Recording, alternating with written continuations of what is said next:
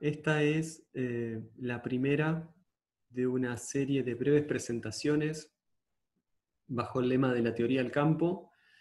La idea de estas es eh, desarrollar algunos temas que creo que pueden ser de interés en general para, los colegas, para los profesores, los entrenadores, y a su vez son eh, puntos que se desarrollan en mis dos cátedras eh, de la licenciatura de Educación Física de la Universidad FASTA, y eh, también el objetivo es explicar un poco estos temas, estos puntos, para que los alumnos no lleven dudas hacia eh, el examen final. lo que les propongo hoy es hablar de la evaluación y el control de la velocidad del entrenamiento de resistencia para deportes de equipo. Y la presentación está dividida en tres partes. Una introducción donde voy a desarrollar algunas cuestiones terminológicas como qué es la BBO2 máximo, eh, la BAM y la velocidad pico. En el desarrollo propiamente de la presentación voy a hablar de la evaluación de la velocidad pico, del control del entrenamiento por medio de la BPIC, y en el cierre les voy a dar un ejemplo del control del entrenamiento por medio de ella. Esta presentación es la segunda vez que la grabo. Tuve errores al grabarla la primera vez de, de procedimiento, y eh, en los cálculos que les mostré había números equivocados, así que eh, espero que esté mejor grabada ahora y, está la corrección de aquellas, aquellos números que, tuve desliz en la presentación anterior. La introducción entonces, eh, ¿a qué velocidad nos vamos a referir? Bueno, si el gol estándar para el entrenamiento de la resistencia es el consumo máximo de oxígeno, eh, la velocidad utilizada para los entrenamientos debería estar acorde a él, asociada a este. Entonces se llamará velocidad asociada o velocidad del VO2 máximo eh, y se define como la velocidad mínima correspondiente al inicio de la meseta del límite del consumo de oxígeno a su máximo. Em, según Timothy Knox, esta velocidad asociada al consumo máximo de oxígeno tiene más importancia en el entrenamiento deportivo en el campo que, la misma, eh, eh, el mismo consumo máximo de oxígeno. Perdón. Y esto se debe a que entra en juego un factor fundamental que es la economía de esfuerzo. Dos sujetos con mismo consumo máximo de oxígeno tienen, eh, pueden tener diferentes eh, velocidades asociadas a este porque son más económicos en, su, esfuerzo, en su trabajo. Eh, especialmente cuando ese esfuerzo requiere de habilidad, entre comillas, y eh, supone aplicar fuerza, como por ejemplo ocurre en los cambios de dirección. Entonces, quienes tengan probablemente mejores niveles de fuerza harán más eficientes sus cambios de eh, dirección, consecuentemente la velocidad de desarrollo al VO2 máximo sea mayor, no obstante puede tener el mismo consumo máximo de oxígeno que otro sujeto, que su velocidad sea inferior y por un déficit o una debilidad, si se quiere, en sus niveles de fuerza, eh, no lo puede expresar igual. Esto que resumí aquí es lo que vamos a ir desarrollando ahora y fundamentando. Entonces, ¿cómo se mide la velocidad asociada al máximo eh, consumo de oxígeno? Bueno, en primer lugar necesito un analizador de gases y realizar un test que esté validado para esto. Por supuesto que a partir de ahí voy a determinar intensidades porcentuales de esta velocidad y las utilizaré en relación a, la duración de los trabajos que proponga para eh, controlar los entrenamientos en el campo. Obviamente acorde a la vía energética que quiera estimular o que quiera que el sujeto priorice en dicho trabajo. En la gráfica están viendo se muestra eh, cómo a medida que incremento la velocidad de carrera, el consumo máximo, el, perdón, el consumo de oxígeno se incrementa hasta llegar a su máximo, una meseta, y en ese punto determino la velocidad eh, que será denominada como velocidad asociada al máximo consumo de oxígeno. Aquí debajo verán que el incremento de la velocidad no está en 8, 8.5, de a medio kilómetro por hora o de un kilómetro por hora, pues este es un test que propone el Colegio Americano de Medicina del Deporte y está, el incremento, es el registro de la velocidad está dado en millas. Entonces, primer punto a considerar. ¿Dispongo o no dispongo de un analizador de gases? Si lo tengo, entonces estoy haciendo un test directo, estoy midiendo la velocidad al máximo consumo de oxígeno, y si no dispongo, como nos pasa creo que a la mayoría, eh, estoy estimando dicha velocidad y lo que estoy haciendo es un test indirecto. La diferencia de velocidad entre mensurar eh, con, con, analizador de gases y no es de un 5 a un 10%. O es importante. Entonces esto nos indica que no puedo hablar eh, si no utilizo un analizador de gases, de velocidad asociada al consumo máximo de oxígeno. Es ahí donde algunos autores mm, proponen el término BAM, velocidad aeróbica máxima. Pero claro, eh, no queda, eh, no queda mm, totalmente claro, valga la redundancia, el concepto porque si la velocidad asociada al máximo consumo de oxígeno es la mínima velocidad a la cual inicia la meseta, eh, se vuelve confuso esto de velocidad aeróbica máxima. Y vale reconocer que el sujeto puede correr mucho más rápido que esta velocidad, como lo que ocurre en un sprint. Entonces, sería apropiado hablar de velocidad peak o velocidad pico al consumo máximo de oxígeno, si lo estoy midiendo con un analizador de gases, o velocidad peak si eh, no dispongo de este elemento. Primer punto importante para destacar en cuanto a lo terminológico.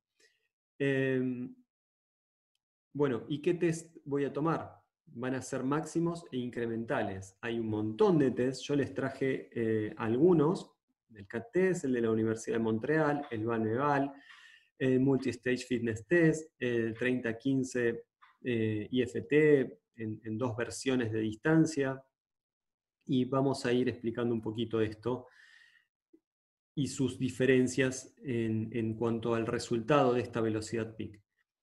Eh, en primer lugar, hay una, eh, se registran velocidades distintas en un test lineal y en uno no lineal.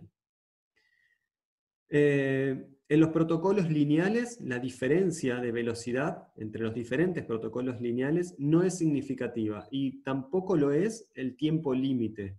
El tiempo límite es el test que se utiliza como validación del último estadio que el sujeto alcanza en el test em, máximo incremental lineal. Y se supone que el sujeto debe superar los tres minutos de esfuerzo a esta velocidad del último estadio. Em, ese es el mínimo que debe alcanzar. No hay diferencias significativas, según los autores, y sí lo hay en los protocolos no lineales. ¿Por qué? Porque pueden ser continuos o pueden ser intervalados y porque la duración del intervalo, eh, la duración del esfuerzo, afecta el desarrollo de esta velocidad. Entonces, este es un punto importante. La velocidad peak es protocolo dependiente en los test no lineales. Eh, porque se puede seguir corriendo mm, a velocidades superiores a las que se alcanza el consumo máximo de oxígeno, eh, echando mano a otra vía energética, siendo más eficiente en los cambios de dirección, y eh, en este sentido, los test que voy a proponerles son dos. Y debemos caracterizar que deben ser máximos, incrementales y específicos. Cuanto más específico, mejor será la mm, bajada al campo de este dato que estamos tratando de obtener, que es la velocidad peak.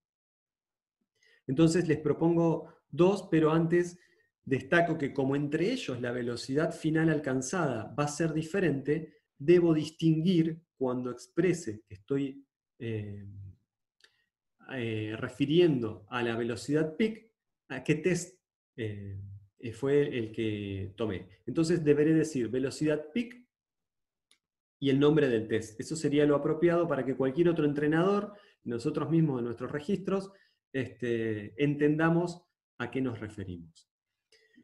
Los dos tests que les propongo son el Multistage Fitness Test, propuesto por Leger, tiene muchos nombres, este, se lo conoce por muchos nombres a este test, test de Leger, test de ir y volver de 20 metros, eh, Navet, Naveta, mm, y les voy a comentar algunos pros y contras de este test que propongo más para categorías formativas. Como un pro es que el espacio en el que se desarrolla es de 20 metros eh, y que está validado en sujetos a partir de los 6 años. Por eso es que lo propongo en categorías formativas. A veces nos toca como entrenadores tener que justificar por qué ante los padres por qué es que eh, decidimos tomar un test y si este test les puede hacer mal, entre comillas, eh, a los niños. Bueno, este, en este caso está eh, validado a partir de los 6 años de edad, es decir, que en categorías formativas no tendríamos grandes cuestionamientos de por qué seleccionamos este test, porque está diseñado, si se quiere, para niños. Em, de hecho, se toma habitualmente en algunos colegios. Hay ecuaciones, esto es un punto interesante también, para estimar la velocidad peak lineal a partir de la velocidad peak del test no lineal, por supuesto. Y como contra, bueno, es un test continuo, la dinámica, em, las acciones de, los deportes, de los jugadores en los deportes de conjuntos no son continuas, entonces esto sería un punto en contra y requiere un audio que hay que buscarlo, comprarlo, eh, descargarlo de internet y hay que tener cuidado porque existen dos versiones, justamente porque la velocidad es protocolo dependiente. Leyer en su propuesta original establece estadios de, un de dos minutos cada vez que se va incrementando la velocidad y en 1988 en una revisión, en un cambio que hace de su propuesta, los reduce a los estadios a un minuto, justamente porque la duración más larga hacía que se pueda afectar eh, por fatiga acumulada el, resultado del test. Eh, y la propuesta que les hago para deportistas eh, semiprofesionales y profesionales es el test de 30-15 y FT, que tiene dos versiones como punto a favor, una en canchas de 28 metros como la de básquet y 40 metros que sería aplicable al hockey, al fútbol y al handball. Es intervalado, tiene pausas, tiene mucho más que ver con eh, las acciones de los jugadores en los deportes de equipo. La bibliografía está compilada y se puede descargar de internet de la página del mismo autor, de Martín Bujeit y eh, incluso tiene una aplicación que esto compensa el punto en contra, de que requiere un audio para su evaluación, como, como el test de, de, Martín de, eh, perdón, de Luke Leisure. Y lo interesante de la aplicación, bueno, a mí me ha resultado muy práctica porque la llevo en el celular, me coloco los auriculares cada vez que tengo que evaluar y con un silbato cada vez que escucho el sonido, el beep en el celular, lo replico con el silbato y le voy indicando así a los jugadores este, en qué momento tienen que estar llegando a cada una de las líneas eh, el protocolo del test. Y no como antes que tenía que estar llevándome la computadora, los parlantes, con el test de, de Luke Leisure. ¿no? Es mucho más práctico tener la aplicación en el celular. Em, bien, Puntos importantes para el control del entrenamiento por medio de la velocidad peak. No aplica trabajos con balón ni técnico-tácticos. Definitivamente no lo podemos usar en esto, lo cual no quiere decir que en algún momento del mm, entrenamiento eh, pueda poner el balón, por ejemplo, que reciban un balón, lo devuelvan e inician el sprint, perdón, las repeticiones, o que al llegar, este, de, finalizar la repetición, deban recibir y lanzar al aro, o encontrarse con el balón y rematar, o hacer un pase. Eh, no quiere decir que no, tenga esto, pero, eh, pero, no podemos decir por ello que eh, lo aplicamos en, acciones técnico-tácticas. Eh, no se relacionan directamente el porcentaje de la velocidad peak no lineal con el porcentaje de la velocidad asociada al máximo consumo de oxígeno. Esto es muy importante a la hora de prescribir las intensidades de los entrenamientos. Lo voy a desarrollar más adelante. Y otro punto es que hay una pérdida de tiempo por cada cambio de dirección que proponga en el drill. Entonces, eh, sobre la relación entre el porcentaje de la velocidad peak no lineal y el porcentaje de la velocidad eh, asociada al máximo consumo de oxígeno, les traje esta, esta, gráfica, que es una modificación de una que propone Martín Bujey, eh, donde le agregué, fíjense, al final de las columnas azules se muestra la velocidad del Multi-State Fitness Test o test de Leger,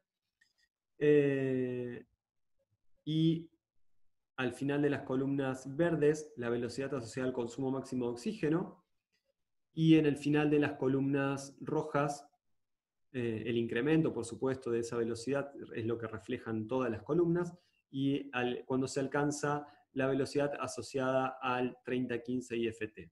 Y arriba como techo la velocidad del sprint máximo. Es decir, son velocidades diferentes las de estos test a la del consumo máximo de oxígeno, entonces deberemos establecer nuestras propias, en relación a nuestros deportistas, nuestras propias em, relación a la velocidad asociada al máximo consumo de oxígeno. Fíjense, esto también es de Lausen y, y Se muestra la velocidad a la izquierda, verán BBO2 máximo, es cuando se mide directamente la velocidad.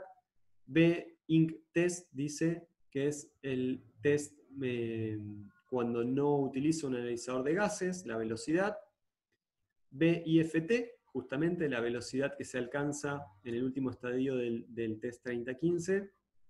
Y a la, mm, izquierda están los porcentajes asociados a la velocidad del consumo máximo de oxígeno. Fíjense que la velocidad del test 3015, IFT, se relaciona más con un 120, un 125% de la BB2 máximo. Esto lo tengo que tener muy en cuenta a la hora de proponer entrenamientos de alta intensidad con intervalos cortos o con intervalos largos o de eh, resistencia al sprint. Porque claro, cada uno de estos se suele proponer como el gol estándar, es el consumo máximo de oxígeno, se suele hablar de porcentajes a eh, la velocidad asociada al máximo consumo de oxígeno. Y como verán, no hay una relación lineal. Les decía, 120%, 125 es más o menos el 100 de la velocidad eh, que se obtiene en el último estadio del test 3015 IFT. Aquí también eh, Martín Busquet hace una relación con la velocidad del sprint máximo. Si ven de la línea central, a la derecha van a estar los porcentajes en relación a la velocidad del sprint máximo, y esto es solo ejemplificador, no quiere decir que realmente al 180% de la BB2 máximo el sujeto esté al 95% de su sprint. ¿eh? Esto, la diferencia entre el 100%, que está en la gráfica anterior, entre el 100% de eh, la velocidad asociada al máximo consumo de oxígeno y la velocidad del sprint máximo se llamará reserva de velocidad. Y será un parámetro a considerar, eh, o la velocidad, en el caso que tome un test de 30-15 o el test de Leger, será un parámetro a considerar esta distancia eh, para ver la evolución incluso del sujeto en los entrenamientos. Entonces les propongo aquí una tabla que de, relación eh, intensidad-duración de esfuerzo que utilizo. Eh, verán que al 85% de la velocidad asociada al test de 3015 y FT, siempre me voy a referir a él ahora, eh, los trabajos pueden ser hasta de 3 minutos, al 90% entre 20 segundos y 45 segundos, lo que tiene que ver con los eh, intervalados de alta intensidad con intervalos largos, con intervalos cortos entre el, bueno, el 90, el 95, 20 segundos, el 100%, 15 segundos, y a partir de allí, de los 10 segundos eh, a menos, los esfuerzos serán, por supuesto, a, tope o loud todo lo que dé el, sujeto. Claro que esto tiene que estar relacionado con los componentes de la magnitud de la carga, el volumen, la duración, la acción del trabajo, el descanso, volumen y acción, sí, duración y acción del descanso y la densidad. Es decir, fíjense aquí que pongo 20 segundos y 45 segundos al 90% de la velocidad del test 3015, si el esfuerzo va a suponer ir y volver en un campo de una distancia de 20 metros, de 30 metros, estará bien poner 20 segundos. Pero si el esfuerzo va a ser lineal eh, o va a tener un solo cambio de dirección, estaría eh, apropiado para relacionar esto de, la magnitud de la carga, me refiero, ¿no? No estoy diciendo que un trabajo esté bien otro esté mal, sino la relación de duración va a estar en base a la cinética del drill que proponga.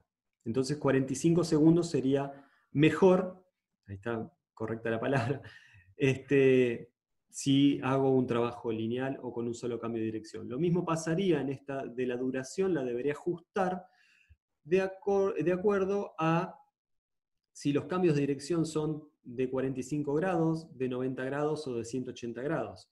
Y en este punto tenemos que considerar que los cambios de dirección suponen una pérdida de tiempo. Martín Buheit propone que la pérdida de tiempo está próxima a los 0,7 segundos por cada cambio de dirección. Es algo genérico, digo, hay que tener en cuenta qué tipo de cambio de dirección vamos a proponer. Y por supuesto, el nivel de fuerza que tenga el sujeto va a afectar a esta demora en más o en menos.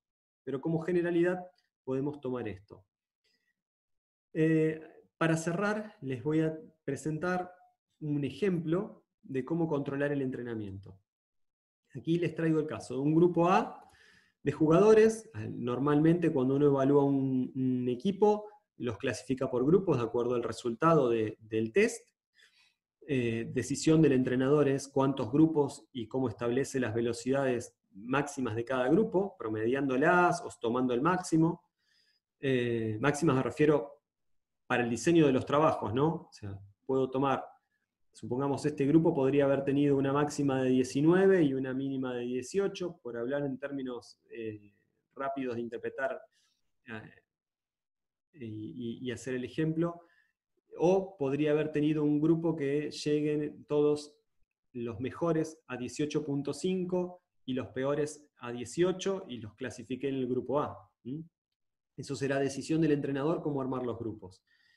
Em, este grupo, 18.5, son 5.14 metros por segundo y el trabajo eran dos series de 8, 8 repeticiones de 20 segundos de duración al 95% de la velocidad del test 30-15 IFT en 28 metros, 20 segundos de pausa, 5 minutos de pausa activa, pasiva las primeras, y bueno, y tenían ahí en los 5 minutos lanzamientos de tres posiciones, de tres puntos. El volumen total de este trabajo eran de 1.392 metros, y la forma de calcular el, entrenamiento sería la siguiente. Primer punto, Calcular la velocidad de trabajo. Si 5.14 metros por segundo al 95% son 4.88 eh, metros por segundo, esto, para conocer, esta será la velocidad de, trabajo general, digamos, ¿no? Después hay que hacer ajustes por los cambios de dirección. eh, para conocer la distancia general también que van a recorrer en los 20 segundos, debo multiplicar esto justamente por ese tiempo. Y nos da 97.6 metros lineales. Ahora debería calcular em, la cantidad y el tiempo de, eh, pérdida en los cambios de dirección. 97.6 metros lineales dividido 28 metros, porque voy a realizarlo en el campo de básquet, me da 3.48 largos, lo que supone 3 cambios de dirección. Si el eh, tiempo que pierdo por cada cambio de dirección es de 0,7 segundos, multiplico esto por la cantidad de cambios, me da 2.1 segundos perdidos. Entonces, eh, para conocer, ajustar la distancia de trabajo lineal, debo a los 20 segundos restarle el tiempo que pierdo en los cambios de dirección, lo cual me da 17.9 segundos. Bien, para conocer la distancia, estos 17.9 segundos los multiplico por la velocidad que el sujeto va a correr, que era 4.88, y me da que lineal, perdón, que con cambios de dirección el sujeto va a recorrer 87.35 metros, ya no 97.6 como había propuesto originalmente en forma lineal. Ahí le estoy agregando los cambios de dirección y en el mismo tiempo eh, calculo la distancia con estos tres cambios. Entonces, ahora, si eh, los largos eh, son, debo calcular los largos de 28 metros. 87.35 eh, metros dividido el largo del campo, que es la distancia que quería que corran, son 28 metros, nos da 3.1 largos. Un poco lo, teníamos inferido porque ya sabíamos los cambios de dirección que iba a haber. Eh, bien, ¿cuánta distancia nos sobra? a esos 87.35 eh, metros le descuento los tres largos de 28, y me da 87.35 eh, menos 84 metros, me da 3.35 metros. Entonces, en 20 segundos, el sujeto va a correr tres largos y le van a sobrar 3 metros 35.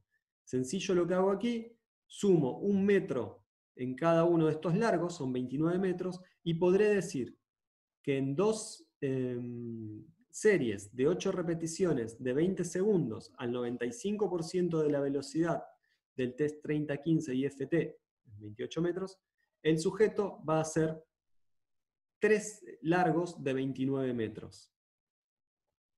Diferente será el resultado del grupo B, por ejemplo, que tendría como velocidad máxima de este test, eh, o del grupo, perdón, en 17 metros o 17, eh, perdón, 17 kilómetros por hora o 17.5 kilómetros por hora.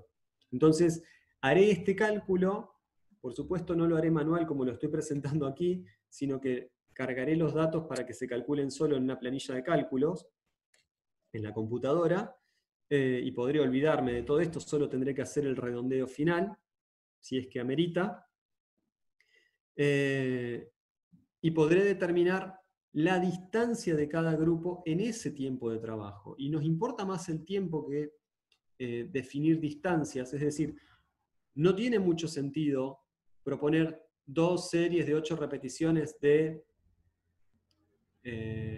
tres campos de juego, porque respondemos más a la duración del esfuerzo que a la distancia, justamente porque hay diferencias en la velocidad que el sujeto desarrolla. la duración del equipo, del grupo más lento será justamente mayor y fisiológicamente impactará distinto que si a todos, aunque es un tema también para tratar en detalle, pero que si a todos les propongo la misma duración del esfuerzo y ajusto las distancias que van a recorrer. Entonces, volviendo y para cerrar el ejemplo, este grupo realiza tres largos de 29 metros, en 20 segundos, y probablemente el grupo em, que tenga una velocidad eh, máxima del test 3015 eh, de 17 o de 17,5 kilómetros por hora, el grupo B, llamémosle, hará eh, dos largos y, medio, o hará dos largos el grupo C. ¿sí? Cada grupo tendrá su distancia de trabajo con el mismo tiempo de esfuerzo. Bueno, eh, me gusta esta frase para cerrar estos conceptos que veníamos desarrollando. Aprender sin reflexionar es malgastar energía. Podemos seguir en contacto por las redes sociales. Eh, les dejo aquí la bibliografía que he consultado para esta presentación. Me parece importante reclamarle a nuestros docentes la bibliografía completa cuando hacen presentaciones. No basta con poner el nombre del autor y el año, porque es muy difícil rastrear en autores que son prolíficos eh, los, los trabajos originales y poder leerlos de primera mano. Así que es interesante reclamar esto a nuestros docentes para poder seguir ampliando nuestras lecturas. Espero nos volvamos a encontrar en otras presentaciones breves de la teoría del campo. Les dejo mis saludos.